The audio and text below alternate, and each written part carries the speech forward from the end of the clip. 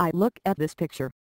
Now look only at the top portion strip of no more than 50 pixels wide. We see a cloudy sky, and it conveys a great feeling of what is intended for this scene. It demonstrates us that we can see an image more intensely if we start looking at it from the side we think it was started to be drawn or photographed. If we start looking at an horizontal or vertical strip, or a square from any portion of the image in an isolated way, we can extract the feeling that it was intended to have.